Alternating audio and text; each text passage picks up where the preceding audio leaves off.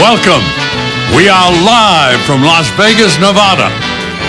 The next 20 hours will bring to you the best the world of entertainment has to offer.